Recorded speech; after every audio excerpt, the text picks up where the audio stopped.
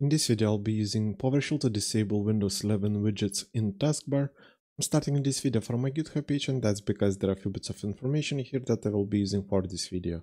And I will leave the URL in the description down below. And here you can see the PowerShell snippet that I will be using to disable Windows 11 widgets. And it works by creating a single registry entry in Windows registry.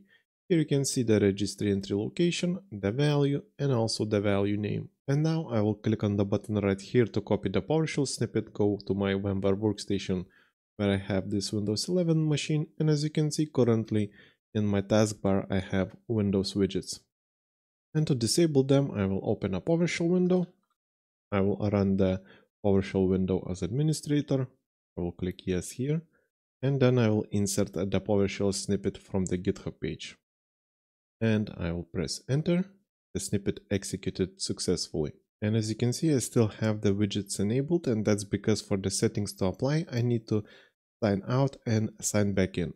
So I will go to my start menu, I will sign out and then sign back in. And as you can see, after the sign in, the widgets are gone. And that's basically it for this video. Like and subscribe if you want to see more videos like this and see you in the next one.